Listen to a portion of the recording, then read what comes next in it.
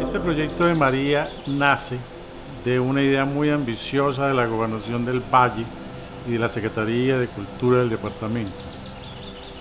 Era la de hacer la primera María infantil en 150 años. A pesar de que era una novela fundacional, una obra americana, una obra universal, nos faltaba por cubrir una cohorte esencial, los niños. Entonces desarrollamos todo un proyecto para hacer María Infantil Ilustrada impresa en papel. Después llegó la pandemia y hubo que hacer un giro completo para desarrollar ese mismo proyecto en formatos digitales, en radioteatro. Una experiencia magnífica porque hubo que explorar caminos que no habíamos transitado. Pero finalmente maravilloso el problema, maravilloso el resultado. Pero nos quedaba faltando algo, nos quedaba faltando los niños que finalmente son el destinatario natural de una obra de este talante.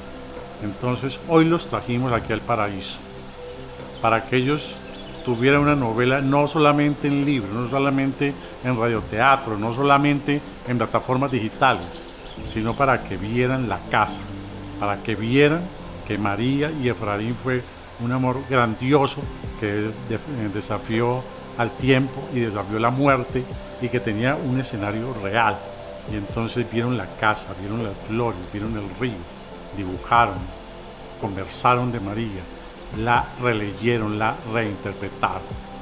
Esos niños han tenido una experiencia de choque con la María. Para ellos no va a ser un libro más, va a ser una experiencia vital y serán de ahora en adelante embajadores de María, embajadores de un amor que nunca murió, porque fue contado con palabras redondas como piedras de río por Jorge Isaacs.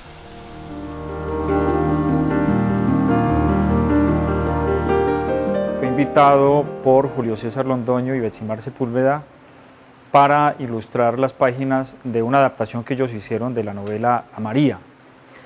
Pues para mí fue una experiencia muy eh, gratificante, muy enriquecedora porque de alguna manera he sentido que dibujar para mí siempre ha sido una manera de conocer, una manera de aprender. Debo confesar que eh, había tenido, digamos, poco contacto con, con, la novela y esta fue una oportunidad de oro para mí para relacionarme con ella y de una manera muy personal, que es lo que a mí me corresponde como eh, dibujante, como pintor, como ilustrador. Siempre ayudó mucho la manera como ellos adaptaron el, libro, porque fue una manera muy ágil, digamos, eh, eh, con el objetivo de acercar, lógicamente, esta gran obra a las nuevas generaciones. Y pues fue interesante todo el proceso, desde elegir no solamente el estilo, sino también la técnica.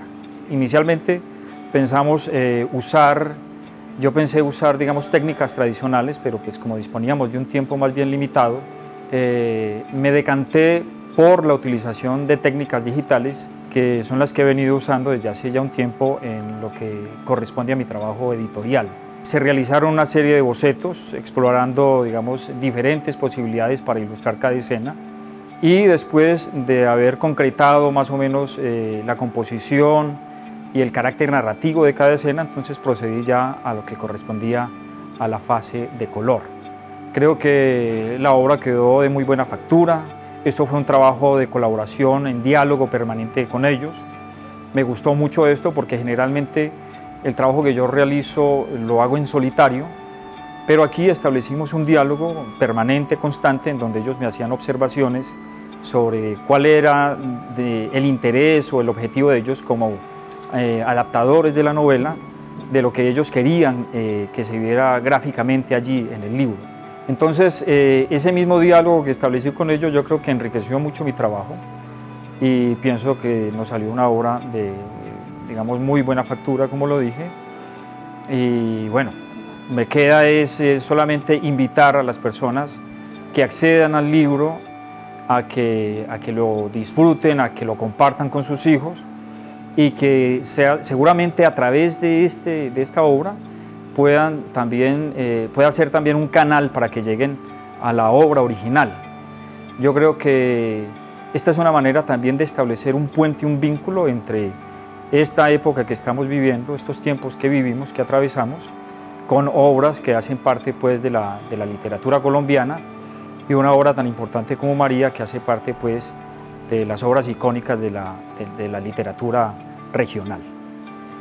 Jorge, el libro tiene una gran riqueza gráfica, tiene una fuerza visual extraordinaria, con los caballos atravesando el río en la tormenta, los barcos, la cacería del tigre. Todo eso, allí hay una fuerza visual extraordinaria. ¿Cómo lograste eso? ¿Cómo elegiste las, las gráficas? ¿Y cómo fue el tránsito para vos, que sos un periodista, un, dibujante político, un caricaturista, para hacer ese tránsito hacia la ilustración infantil? Bueno, para mí, digamos, pues yo no me considero un caricaturista editorial ni político. Yo me he movido en diferentes terrenos dentro de la gráfica. Pero eh, mi trabajo esencial eh, está en el mundo, sobre todo de, la pintura y la ilustración específicamente, aunque, digamos, por necesidades de un medio en el cual he trabajado, he tocado otros temas, la política y la economía. La ilustración infantil, yo creo que esta será pues una, mi primera experiencia en, una gran publicación. Sí la había tocado en otras ocasiones de manera pues eh, tangencial y, y con obras menores, diría yo.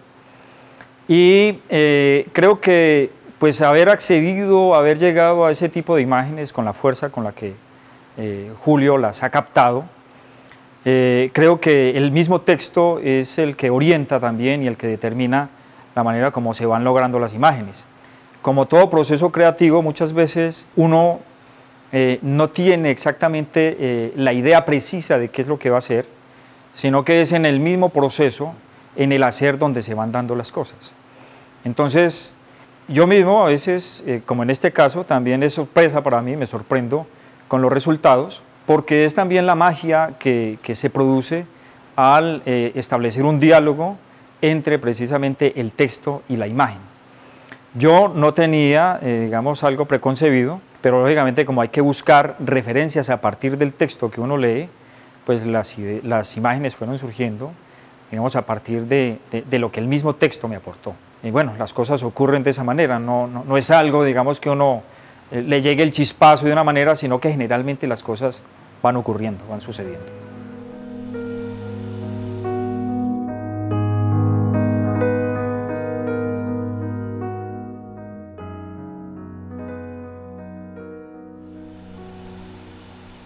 Bueno, te enfrentaste al desafío de grabar, de, adaptar una prosa muy lírica, poética del siglo XIX a un lenguaje actual, moderno, pero tratando de conservar el espíritu original. ¿Cómo hiciste? ¿Cuáles fueron tus, criterios, tus, tus nortes? Mira, Primero se supone que es un, se supone y así fue, un reto grandísimo porque es una responsabilidad muy grande eh, trabajar sobre una obra emblemática, no solamente para una región, sino para un país y para una época, porque María de Jorge Isaac representa sin duda uno de los hitos en la literatura, no solamente colombiana, sino latinoamericana, y por qué no hablar pues en, en Hispanoamérica. Entonces, primero asumir, asumir esto, esa lectura con mucha responsabilidad y también con mucho amor.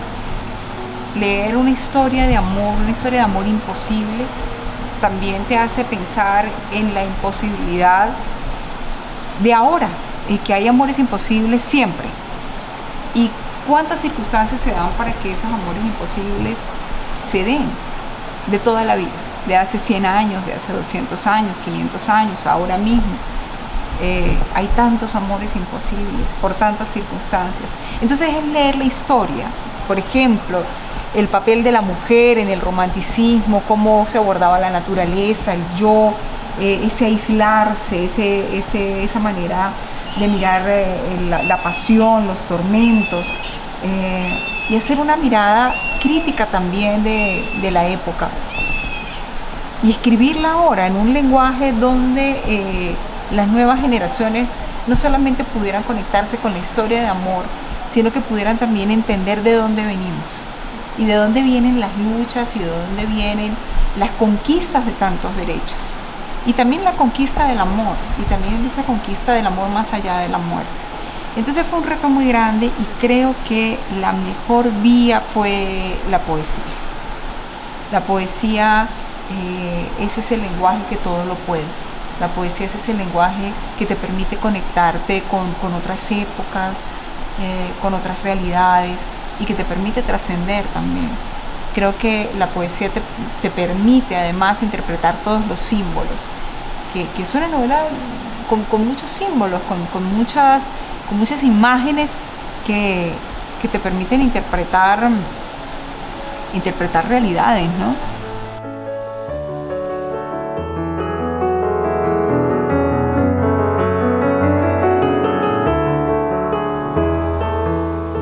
Yo recuerdo lo que decía Borges, que él había escrito yo no sé cuántos libros para merecer una página. Y eso se puede extrapolar también al trabajo de uno. Porque yo pienso, por ejemplo, a mí personalmente, la imagen del cuervo me gusta mucho. Porque, digamos, el cuervo ya tiene, el cuervo ya tiene una, un significado específico, ya todos sabemos lo que significa esa presencia en la novela. Entonces, utilizar la imagen del cuervo y eso, digamos, amalgamado con la imagen de la guadaña, me parece que vuelve, es una imagen muy potente, hablando precisamente de la muerte. Para mí esa es la obra o la imagen más importante que puede lograr y que pues se dio gracias a, a este ejercicio que hicimos. Y, y, creo que lo interesante del trabajo creativo, del trabajo de nosotros, radica en eso, en que uno siempre tiene permanentemente, se encuentra permanentemente con milagros. Y el milagro ocurre cuando uno haya una imagen de esas, se encuentra una imagen de esas. Una cosa que uno no lo había pensado, pero que surgió precisamente en ese proceso. Pero muchas veces las, hay imágenes que surgen y que van más allá de la obra que lo inspiró a uno, ¿cierto? Que ya incluso solita se puede defender. Eso, ubicada en el contexto, uno sabe lo que significa, pero fuera de ese contexto, la imagen brilla por sí misma. Tiene una personalidad propia, tiene una fuerza propia, entonces, esa, lógicamente, uno puede hacer una defensa y darle un valor a cada imagen dentro de la obra, pero siempre hay, hay, un elemento del cual uno se enamora y, pues es una cosa, claro, una visión muy personal de cada uno sobre ese trabajo. Yo creo que siempre la intuición juega un papel muy importante ahí, porque digamos, eh, inicialmente uno tiene una idea, la plasma, pero a medida que digamos, el trabajo va teniendo un desarrollo, uno siente que una necesidad, digamos, de hacer una modificación, ya sea por la dimensión o por la composición, o añadir un elemento o quitarle. A veces no es algo tan racional, sino más de la emoción, más del corazón, ¿cierto? De cómo ve uno las cosas y uno simplemente eh, hace un cambio y uno siente que funciona o no funciona. Pero esas decisiones se toman igual sobre la marcha. Es una mezcla entre lo racional y lo intuitivo dominar una técnica implica, digamos, un conocimiento racional, pero en lo que tiene que ver con la utilización de esa técnica para materializar una idea, tiene que ver más con la emoción, más con la intuición. Trabajaste con los niños esta mañana. ¿Cómo fue esa experiencia? Pues fue una muy buena experiencia porque pues uno, digamos, o sea, yo realmente he trabajado poco con, con niños y confieso, pues a veces eh, por esa inexperiencia uno tiene alguna prevención porque no es el terreno en el cual uno se mueve. Pero, o sea, siempre hay una cosa paralela entre el ejercicio del artista y la vida real. Puede pasar exactamente lo mismo, y me ocurrió lo mismo esta mañana, que al llegar los niños con su alegría y con su curiosidad y la expectativa que tenían, y en la medida en que empecé a hacer algunos dibujos, eh, se establece también allí un vínculo con ellos, y fue una muy buena experiencia, porque Lógicamente, pues cada uno se conecta de una manera distinta, pero siento que disfrutaron esa experiencia, ¿no? Y que de alguna manera, pues eh, eh, eso servirá también para que haya una curiosidad y un interés por la obra. Siempre uno lleva un mensaje a algún lugar y, y bueno, eso no llega de la misma manera a todos.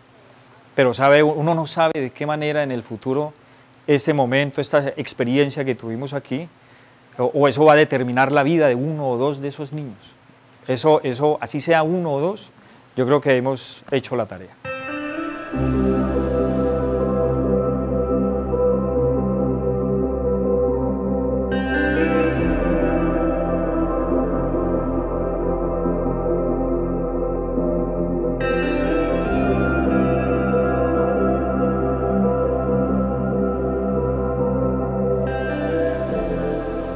Tomaste varias libertades con la versión. Hacer una adaptación en verso moderno, esa es una. Segunda, María no muere completamente, la, muerte de María es metafórica, como en realidad está sucediendo en, la historia de la novela, que, no la han dejado morir, que es una tradición muy viva. Y lo otro es el énfasis que le pusiste al tema de la esclavitud que está como soslayado con unas ternuras allí sospechosas en la novela, y vos sin traicionar ese espíritu pusiste otro foco sobre la esclavitud. Fueron como tres libertades audaces y yo quiero que nos contés cómo, cómo fue la cosa, cómo lo hiciste. Sí, bueno, la primera libertad es, es el escribir en, en verso libre porque el verso libre te permite, te permite desarrollar más la emoción, te permite más desarrollar el sentimiento, la acción, te permite, te permite eso, que tienes más libertad para ponerte quizás en la voz de, más en la voz y el pensamiento de Efraín y de María. Es como que es como abrir más esa ventana en el tiempo para que hablen más, para que se expresen más y eso permite conectar mejor los sentimientos, creería, ¿no? El otro, la otra libertad que, me tomé fue darle un poquito, darle más énfasis al, tema de la esclavitud, porque es importante que ahora hagamos otras lecturas.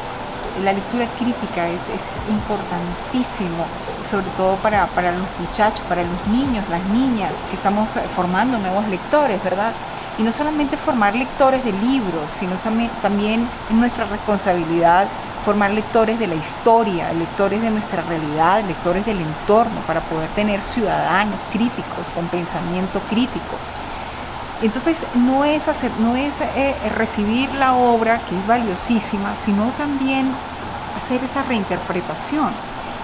Hoy en la actividad que tuvimos con los niños fue, fue eh, tan valioso y tan eh, importante que ellos por sí mismos, por, por deducción, por casi que por un eh, instinto, por lógica, se pensaban como ciudadanos libres, como ciudadanos eh, sujetos de derecho.